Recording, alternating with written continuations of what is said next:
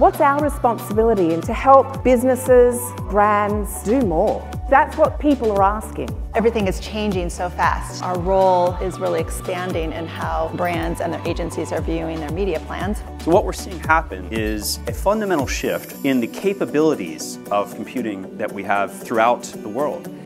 We used our collective power influence to create real meaningful change in the world.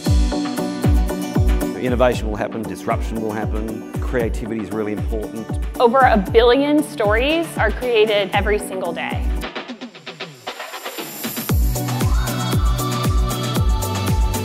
Any marketer isn't doing a great job if they're not doing their homework first and coming to our platform and saying, is there a stronger, smarter way that I can target this audience that's going to speak to them more directly?